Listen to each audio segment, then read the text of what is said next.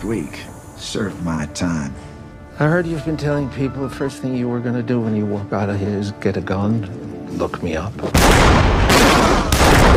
I never killed nobody that wasn't trying to kill me. Stay clear of me, Joe. You do the same.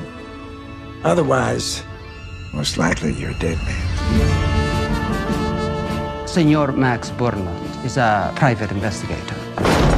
I wouldn't try anything foolish. Walk away from that gun. Joe Cribbens. What, you know? He's a dangerous man.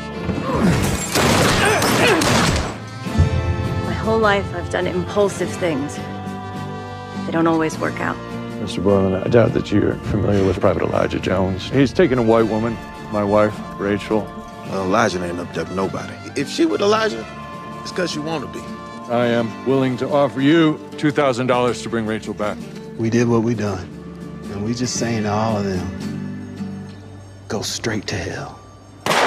Forget this white woman. Don't let nothing interfere with what's good for Alonzo Poe. Mr. Borlund, are you under the impression that you are rescuing me? Your husband is on his way here. I am to watch over you until he arrives. When my husband gets here, he intends to kill me.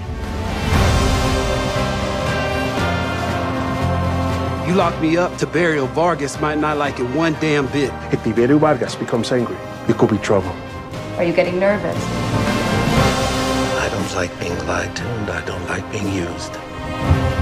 Guess it's time to see how good you really are. Maybe the easiest way out of this mess is to shoot you. Who the hell are you? I'm the fellow with the gun. Most men are afraid to beat me at cards. You will follow orders.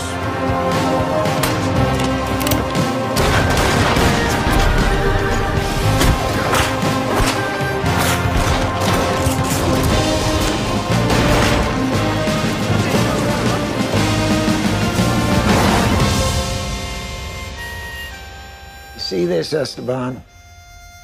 You put a gun in it, and it's the devil's right hand.